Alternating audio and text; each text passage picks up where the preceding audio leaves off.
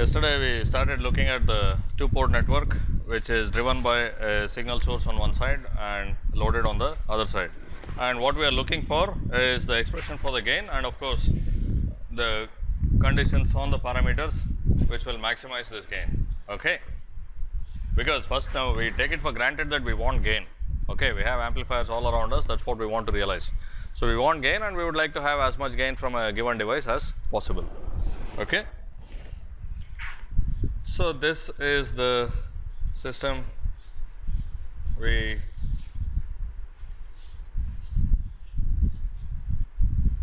analyzed and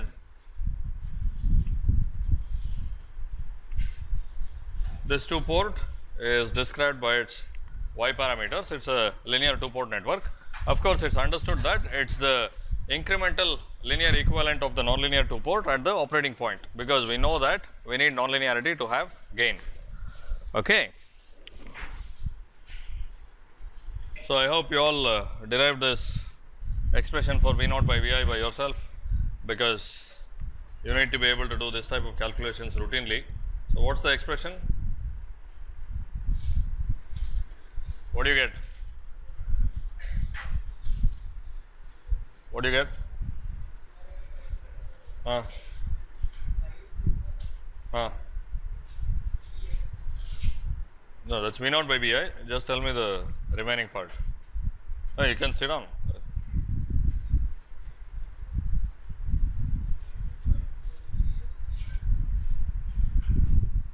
Divided by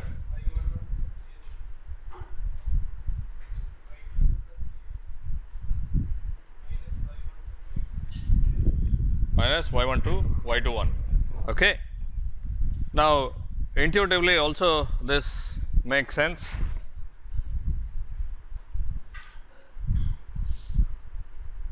The circuit representation of uh, y parameter 2 port consists of two conductances corresponding to y 1 1 and y 2 2 and two control sources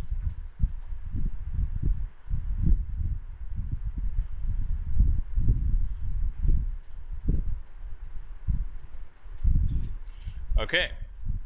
And this is being driven by V i and R s which can also be represented with a current source V i times G s or V i divided by R s and conductance of G s. On this side we will have G l. Because the load resistance R L appears across Y 2 2, you expect Y 2 2 plus G L in the expression and because G s appears across y11 you also expect y11 plus gs in the expression. Okay. And it also makes sense that y21 is in the numerator because y21 is the transfer parameter from port 1 to port 2 okay. A large value of y21 means that for a given voltage here you get a lot of current.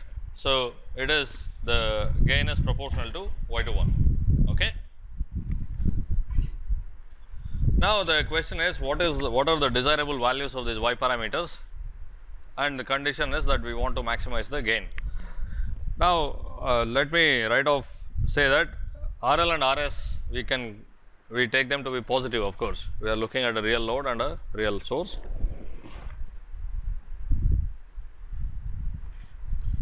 Okay. And then uh, it it does not have to be the case for a nonlinear device, but we will take y 1 1 and y 2 2 also to be positive. Okay. That means that what is y 1 1? What is y 1 1 of a 2 port? It is the short circuit input admittance, right. You short circuit port 2, you look into port 1, the resistance that you see, uh, the conductance that you see is y 1 1. Okay, and we take that to be positive. It basically says that this 2 port network will have a positive resistance, it does not have a negative resistance.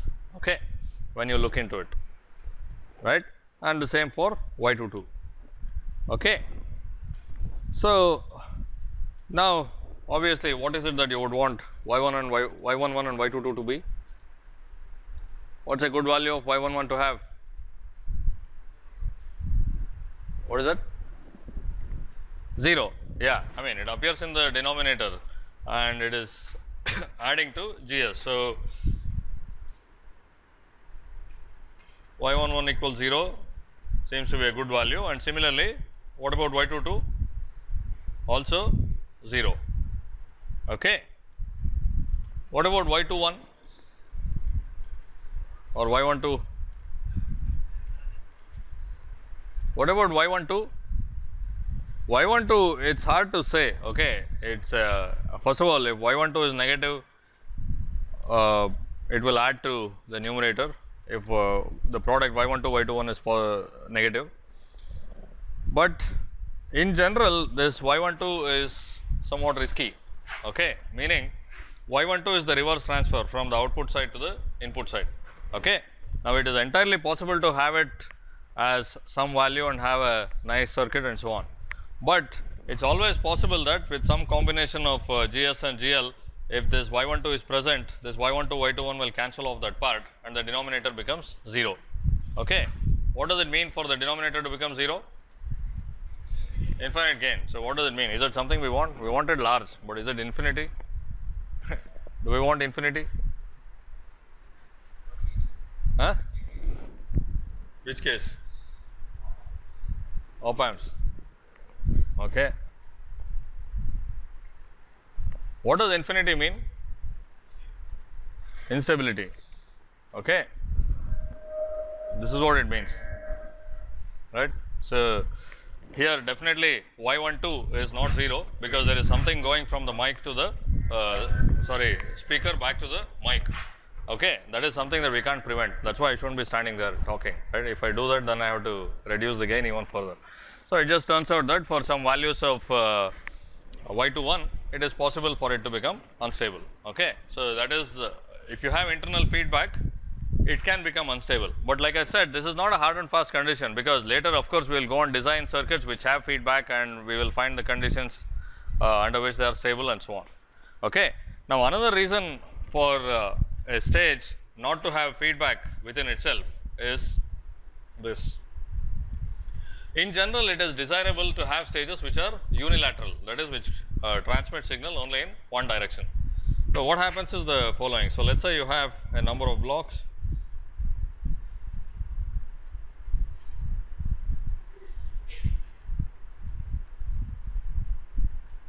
You are familiar with what is meant by unilateral? What is unilateral? Huh? it is one sided basically y 1 2 is 0 or y 2 1 is 0 and similarly in uh, if you take any of the other uh, 2 port parameter sets one of the parameters 2 1 or 1 2 will be 0 and this is exactly the kind of thing you use when you analyze systems in courses like networks and systems and so on. Okay. So, when you say that you have V 1 here and here you get H 1 V 1 where H 1 is the transfer function and it is implicit that this is unilateral. Okay. This side is the input, that side is the output. You do not expect to feed an input here and get an output there, right. And in control systems also you must be already doing this. You have a block and you have a gain and this side is the input, that side is the output. So, that means that it is already assumed that it is unilateral. It also means that you connect something else to, so let us say you take H 2 here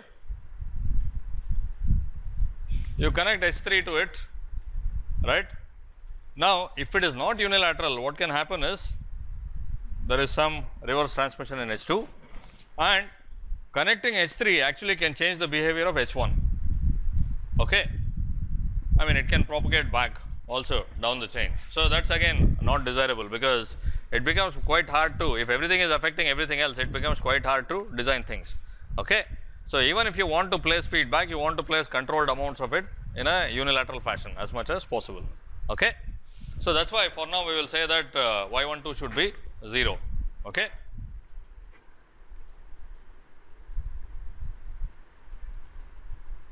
So, these the conditions are obvious and y 1 2 0 to avoid feedback. Okay. This is fine? Yeah.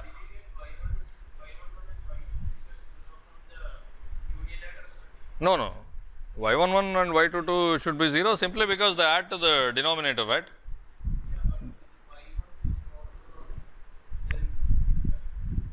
No, that's what we don't want that. I mean, because the, for some combinations, the denominator could also become 0, right? You don't know the values of GS and GL that you use. Okay. So, it is possible that uh, the y12 is 0 just to avoid any feedback within the device. Okay. That is something that I assume. It is not that you cannot design circuits which have feedback within the device, but it just becomes more cumbersome to do that. Okay. Because now if you have a chain of stages, the third stage will affect the first one. I mean, you expect that it will affect the second one because it's connected to it, but it will also affect what comes before. Okay. So, that's something that you would not want to have. So, that's why I would want y12 to be 0. y11 and y22 are 0 simply because they are extra loading, right? And it's kind of obvious here. You have this current source, it's getting shared between this GS and y11. Okay. Why should you share it? You don't have this at all. Similarly, this output current y21 V1 is what is driving the output that current is getting divided between the load and Y22. Okay, why, why should we divide it? Let it all go into the load. That is what it means by having Y22 equals 0. Okay. So, all of the current produced by the control source Y12 V1, sorry, Y21 V1 should go into the load. That is what is the meaning of Y22 equal to 0. Okay. This is fine. And similarly, Y11 equals 0 means that the input should not be drawing any current. Okay. So, the input of this 2 port it will not be drawing any current because first of all we said y12 is 0. So, that part is gone and if y1 was also 0 no current is flowing in that seems like a good thing right because you have a voltage source you do not want to load it you, if you draw current you have a voltage source with an internal resistance a series resistance. If you draw current what happens? That voltage is only going to drop. Okay? So you don't want that. So that's why you would want y11 to be 0 that comes out of the expression but that's the meaning of it. This is okay? Fine. And what you what would you want y21 to be? Some large number. Some as large as possible. Okay? So uh, ideally you would like to have an amplifier device. If it is described in uh, y parameters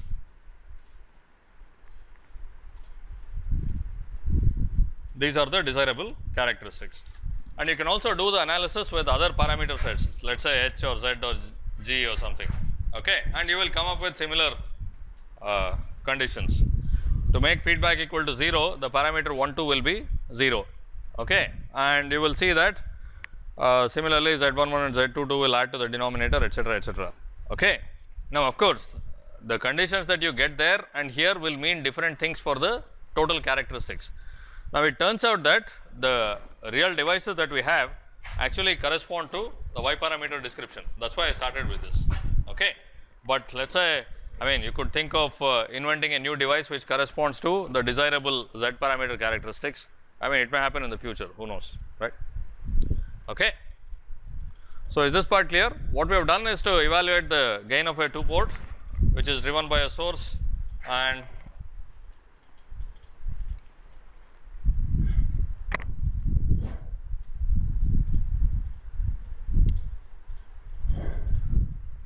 which is driven by a source loaded on the other side and we want to maximize the gain. Okay and the conditions are that y11 should be 0 uh, y22 should be 0 y12 also should be 0 and y21 should be as large as possible. Okay? Now of course what are these y parameters? These are incremental uh, parameters of the nonlinear device. So that means that at some operating point these things must be true okay it is at the operating point. And obviously for it to behave like a good amplifier you have to bias it at that operating point. You have to choose that operating point. Okay so yesterday we chose v10 v20 etc we have to choose them so that i mean if you have a nonlinear device it could have it doesn't need to have this everywhere. In fact it probably cannot have it everywhere. Okay so it won't be able to have that everywhere. That becomes a linear device right? So it will have it in some region of the characteristics and you should bias your uh, amplifier device in that region. Is this okay? Any questions? So, after all this is left what after all these conditions are satisfied what is the gain of the amplifier what is the gain V naught by Vi? Minus Y21 by GL. I mean that is again pretty obvious because what is it that we have in the circuit?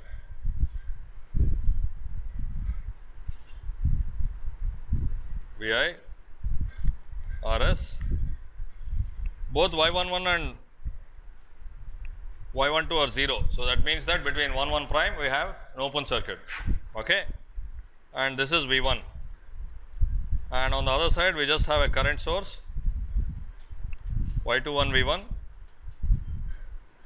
loaded by RL. Okay. What is the value of V1? What's the value of V1 in this picture? VI, because no current is going through RS, it is equal to the input voltage VI.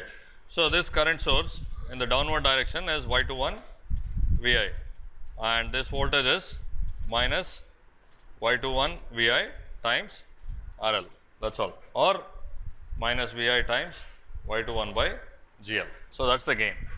Okay. So, essentially what we want is just a voltage controlled current source. Uh, the nonlinear two port device should behave like a pure voltage controlled current source at some part of its operating point. Okay. Any questions on any of this?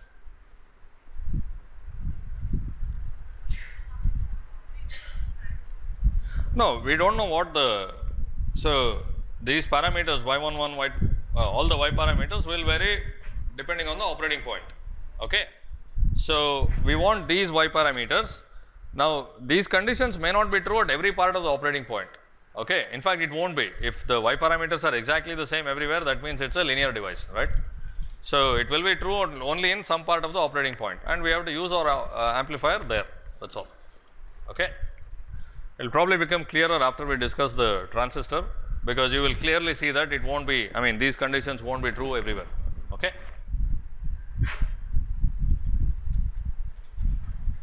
All I am saying is that these y parameters depend on the operating point. Okay. Anything else?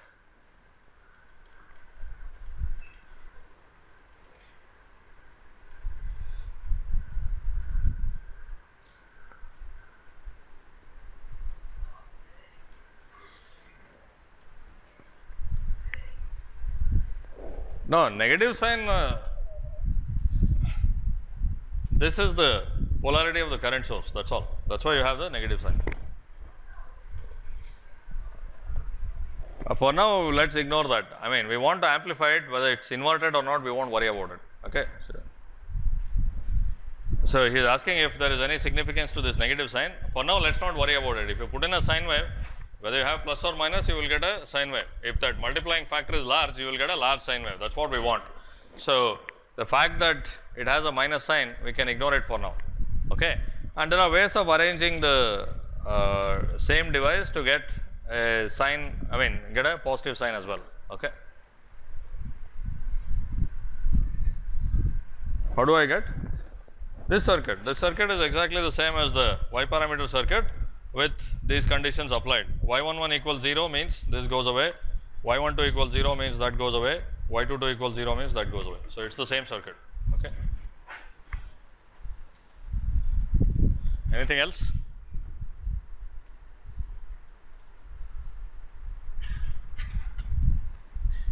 Okay. So, these are the uh, desirable characteristics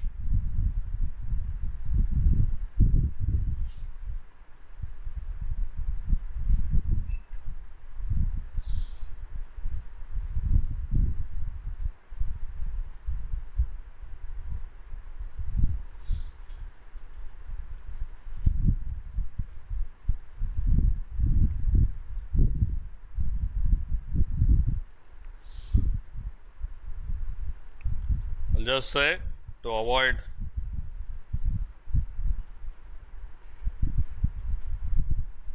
current sharing. I mean, you know what it means. This is what I described earlier. You want all of the current from the control source to go into the load and all of the input, I mean, no current to be drawn from the input. Okay.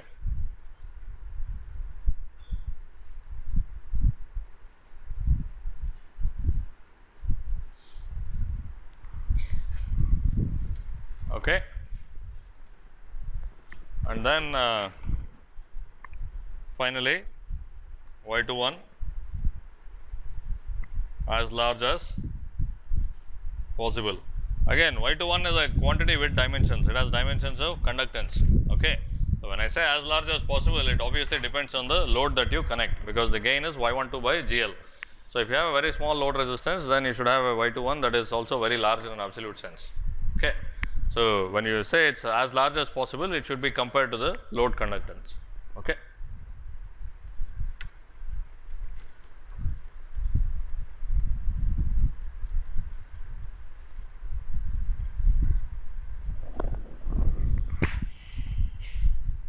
Now, it turns out that there actually is a device which conforms more or less to this okay.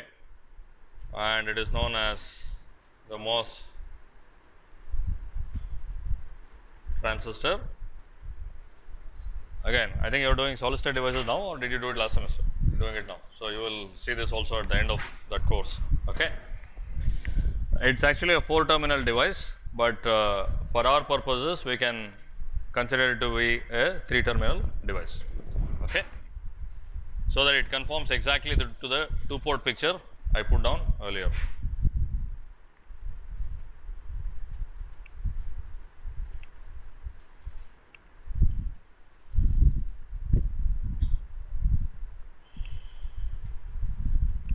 This is the symbol for the MOS transistor and these are the two ports with a common terminal. Okay. So, it is a 3 terminal 2 port. Of course, we are talking about a specific device. So, we will not use the generic terminology of 2 ports anymore. Now, this terminal this is called the drain and this is called the source the common terminal and the input terminal or port 1 is called the gate. Okay.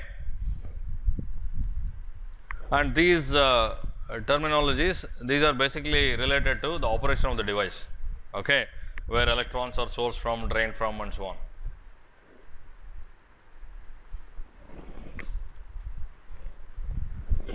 So, also as far as the voltages and currents are concerned, we will not call them V 1, V 2, I 1, I 2 anymore. We have the terminals and similarly, this voltage here, the port 1 voltage, it is called VGS.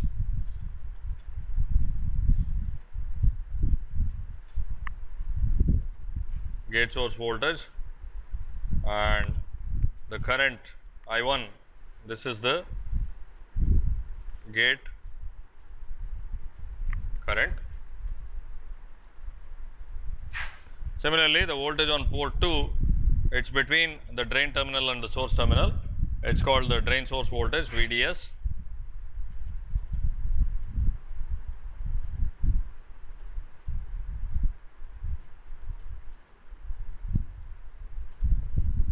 And this current here, this is the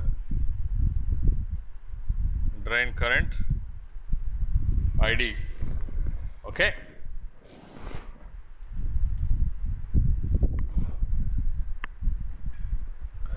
So, essentially we have a 3 terminal 2 port and all I did was now to define the uh, currents and voltages. Okay. Now, earlier yesterday we had written this I 1 is F 1 of V 1 V 2 and I 2 is F 2 of V 1 V 2. So, these currents will be functions of VDS and VGS the gate source voltage and the drain source voltage. Okay. Now, very luckily for us it turns out that at least for DC this I g is exactly 0. Okay.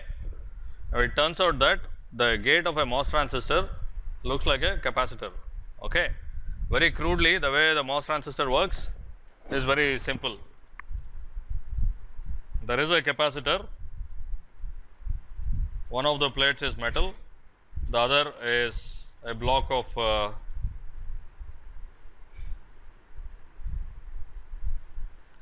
semiconductor. Okay. And you apply some voltage across it. What happens if you apply voltage across a capacitor? There will be charges on the plates. Okay. So now in a normal capacitor you will have two metal plates and the metal plates will be conductive anyway. So whether you have uh, extra charge because of the applied voltage it does not matter. What happens when one of the plates is semiconductor is that Normally, when you do not apply any voltage, the conductivity of this bottom part is quite poor. Okay. Now, when you apply a voltage, there will be charges induced on the plates. Okay. So, there will be I mean if with this polarity there will be positive charges here and negative charges over there. Those excess negative charges in the semiconductor substantially enhance the enhance the conductivity. Okay. So, now if you connect let us say you were to measure the resistance between these two terminals A and B, it would be actually very very high if you did not apply any voltage. But if you apply some voltage beyond a certain value because of the charges induced it goes from being almost like an insulator to almost like a conductor. I mean that is the virtue of semiconductor right you can modulate its conductivity. An insulator like plastic it will never conduct and similarly metal it will never insulate it will always conduct whereas the semiconductor can go both ways. Okay. So, that is the, the extremely crude description of the operation of a MOS transistor. Okay. So, by the way the MOS stands for uh, metal oxide semiconductor because we have the metal here and this insulating part in between is the oxide. Of course, MOS transistor now has evolved for more than 50 years and uh, what is on top is not exactly metal and what is in the middle is not exactly an oxide, but we still call it a MOS transistor. Okay.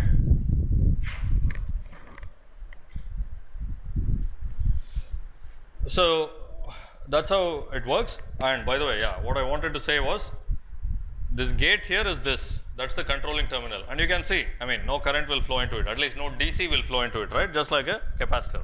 So, that is why the gate current is 0 which is great for us. What does it mean for the parameters and for which parameters?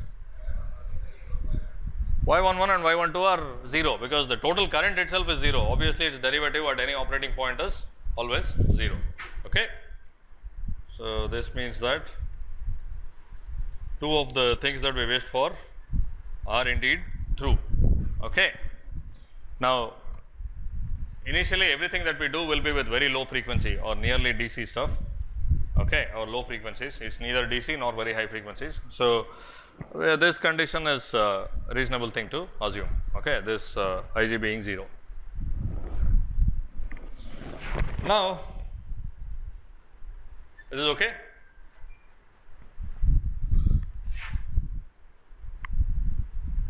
The drain current of course, it follows different behavior in uh, different regimes of voltage.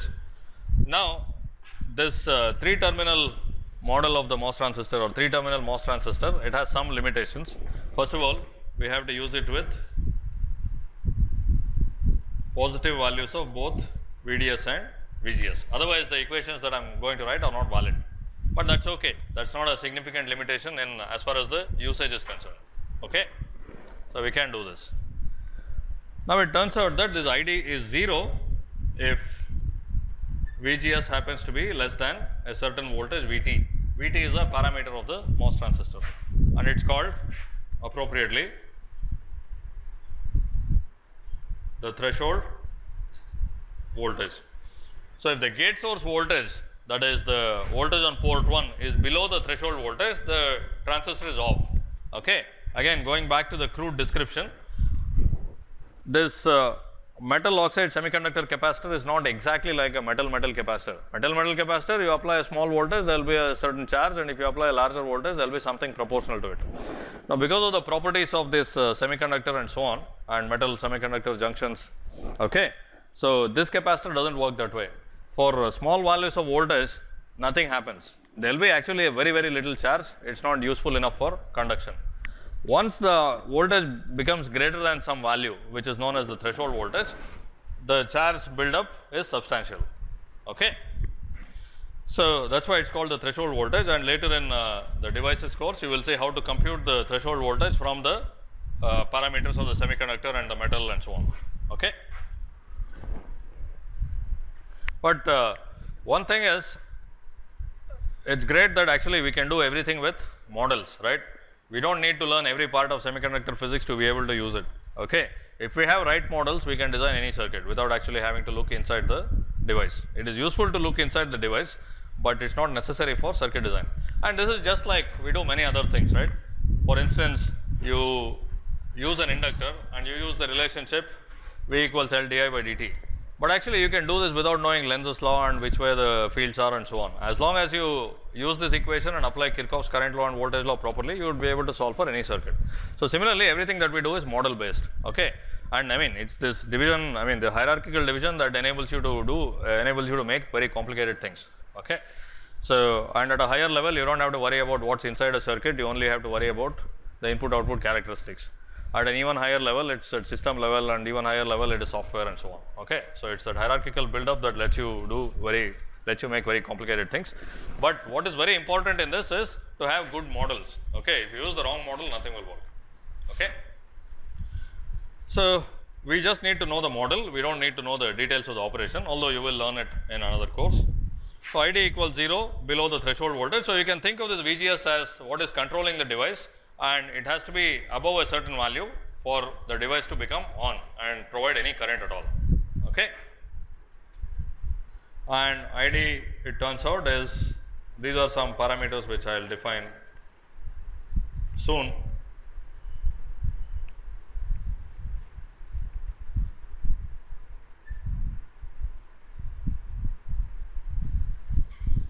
So, yet another equation for the current and this is true when VGS is greater than VT and VDS is less than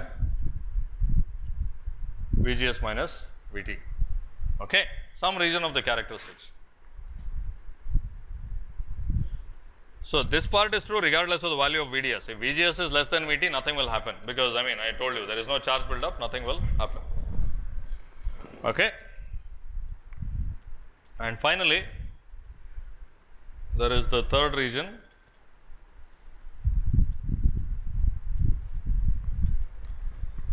Okay. And this is true if VGS is greater than VT I mean I not keep repeating this. Obviously there will be non-zero current only if VGS is more than the threshold voltage. And VDS is more than VGS minus VT okay.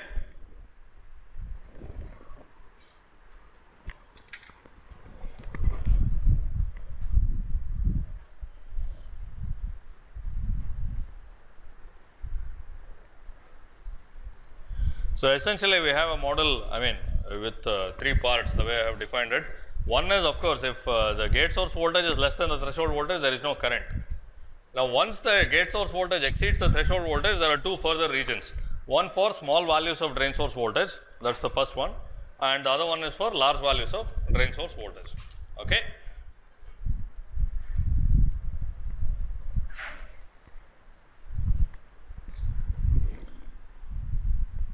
Now, how would you graphically depict a two port current voltage characteristics?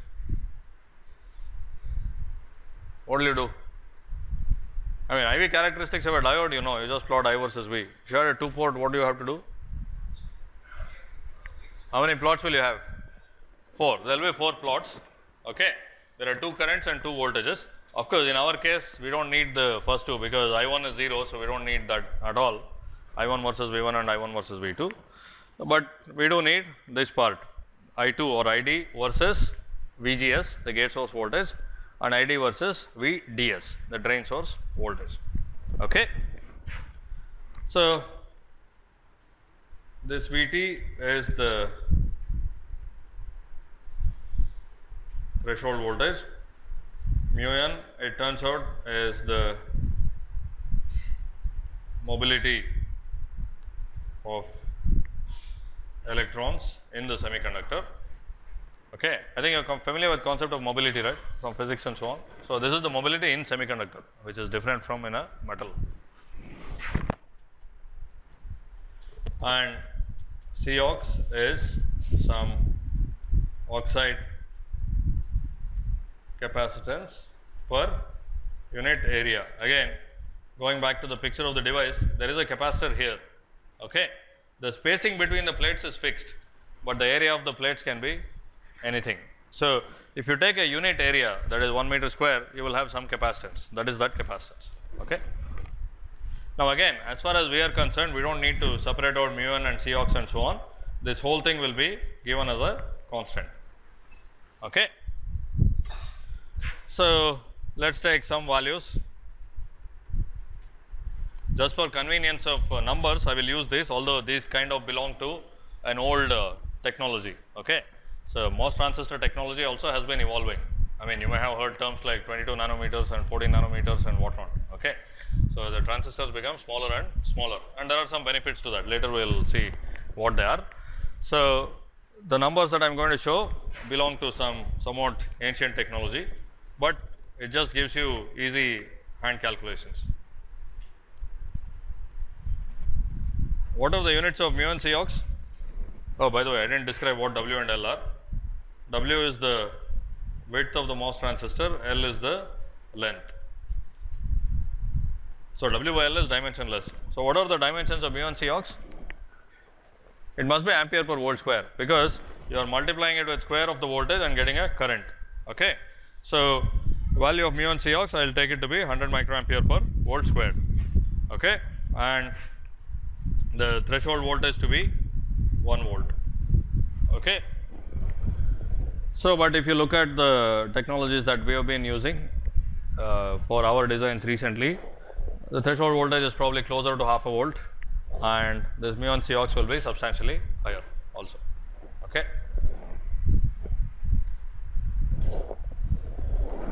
So, you will get used to this as you start solving problems with this one.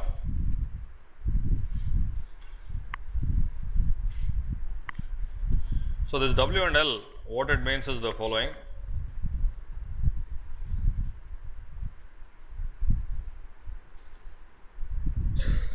This is the drain, this is the source and if you look at the top view of the semiconductor, it looks like this.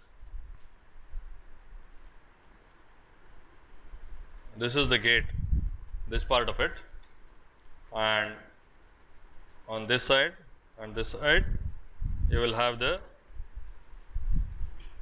drain and the source. Okay. So, it will have some width and there is a certain separation between the drain and source. Okay. So, this is the top view and current flows from drain to source like this. You can consider it to be more or less uniform spread across this. Okay. So, the separation between the drain and source is called the length of the MOS transistor and the width across which the current flows basically the horizontal dimension of the drain or source that is called the width W of the MOS transistor. Okay. Now, you can see why it is proportional to W right. If you go on making it bigger and bigger more current will flow that is all. Okay.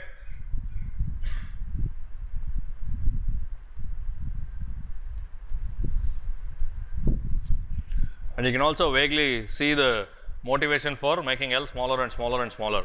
As the drain gets closer to the source, the amount of time it takes for current to go from uh, drain to source will become smaller. So, that is why to make circuits faster and faster and faster, you have to make the length smaller and smaller and smaller. That is what has been happening. That is why processors or every, every circuit that you have keep getting faster and faster. Essentially, you make the dimension small, so that it takes less time to do anything. Okay? And of course, having the dimension of each transistor small also helps you packing in lot more transistors in a given area. So, now you have transistors I mean you have integrated circuits with a billion transistors on it okay that is possible.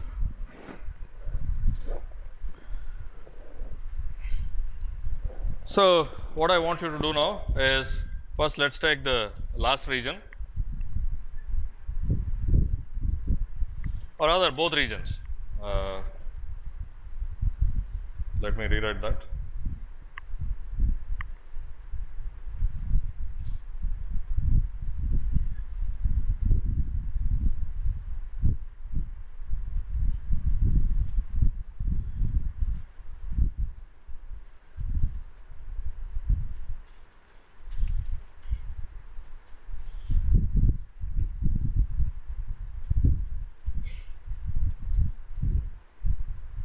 Both of these are true for uh,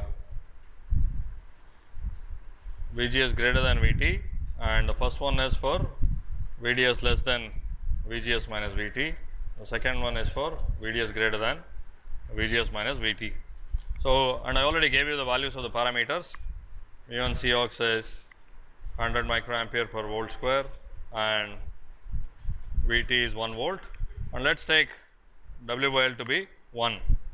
So, what I want you to do is sketch I d versus V d s.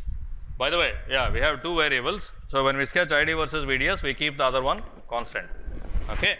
So, do it for V g s equals 3 volts and please make a neat sketch and that should resemble the actual curve and so on. Okay, the function.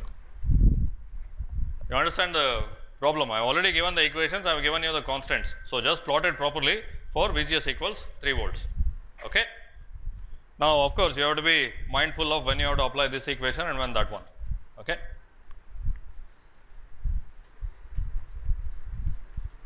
So, many of you have got it, although some of you have uh, carelessly drawn the first part of the characteristics.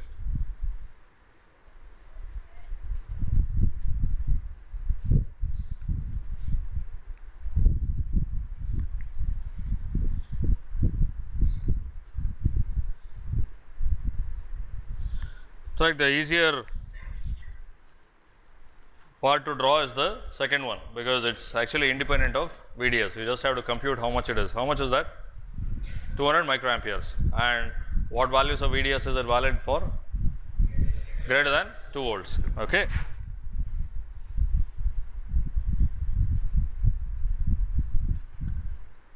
So, for uh, VDS greater than 2 volts, it will be 200 microamperes.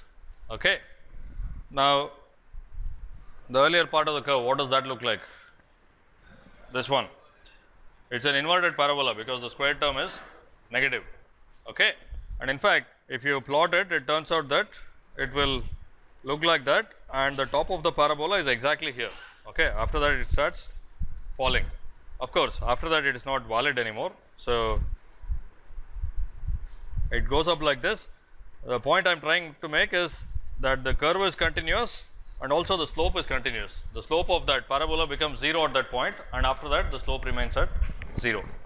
Okay. So, some of you have written this which uh, I mean just by looking at just by saying it is a parabola obviously not correct. Okay. And this is for VGS equals 3 volts. Okay. Now, as you can see the slope is, uh, what is the slope of this? Which of the y parameters is that? The slope of this curve. Which y parameter is this? Y? y22. Okay. So, this is y22 and you can clearly see it is not constant everywhere. So, given the constraints we derived earlier, where is, where do you want to operate your amplifier? Which part? Right side or left side? Right side clearly, okay, because this is where you get y 2 2 equal to 0. So, this is what I was saying earlier that it depends on the operating point. So, if you do operate here, you will get a y 2 2 that is larger than 0, okay. So, that means that your gain will be smaller, okay. Now, we can also complete the plot by uh, first of all for any VGS less than or equal to 1 volt, the current will be 0, okay. For uh, VGS equals 2 volts, what is the current? What is the constant part of the current? Huh? 50 microamperes. Okay. And it will be constant for VDS more than 1 volt.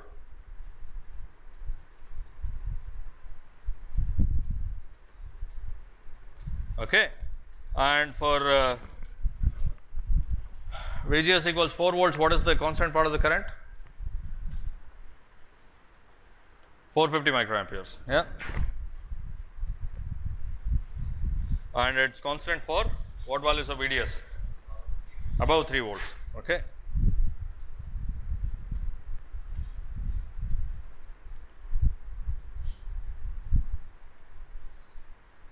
So that is what it looks like. Okay. So these are what the characteristics look like. Uh, it has an initial parabolic part whose slope gradually decreases and it falls to 0 and after that at least according to this model it remains a constant. Okay. So, the current remains constant. So, that means that y 2 2 will be 0 beyond this VGS minus VT, but that limit is not some fixed voltage that also depends on VGS. Okay. And turns out that this region here where the current is constant is called the saturation region that is where the current saturates and this region is called the linear region or the triode region for some various reasons we will see later. Okay. So, if you want to use the MOS transistor as an amplifier, you have to operate it in which region? Saturation region. So, that is part of the game picking the correct operating point, so that you are in saturation region. Okay.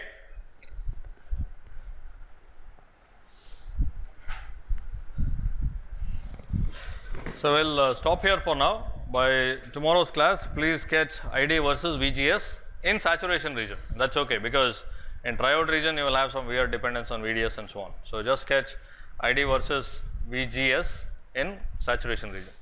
Okay. So, what we did was first to find the constraints on uh, y parameters which give you a high gain, we have some values. So, this will kind of tell you what to look for in any device or if you are given some device, if some device is thrown at you, how to choose the operating point for uh, having a high gain. And then we examine this device which happens to be available and which more or less satisfies all the conditions that we want to have in a good amplifier. Okay. That is called the MOS transistor, extremely widely used, the dominant technology today. There are other types of transistors and even other types of amplifying devices which came before, but right now the dominant one is this MOS which is based on silicon as semiconductor. Okay.